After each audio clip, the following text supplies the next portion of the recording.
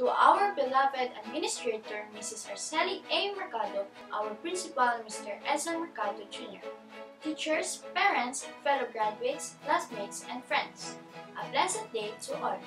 Truly, learning never ends in Excellent Wisdom Christian Academy. This academic year 2020 to 2021 has been a roller coaster ride, having approachable, passionate teachers who are very much willing to sacrifice not only their time but also their resources and efforts. Classmates who, despite of the difficulties of distant learning, enjoyed this awesome experience. Before I started this ride, I have checked my seatbelt to ensure my safety.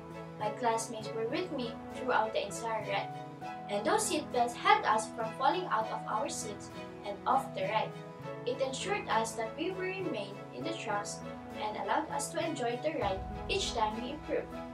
Individually, we have our own struggles and fought our own battles, but together we have grown stronger. Ending the school year using an online platform was so challenging, although independent learning must be exercised in preparation for our high school years as well as our college years. Thank you for all the people who have been there throughout my elementary school journey. I would like to thank my parents for their physical, emotional, financial, and spiritual support.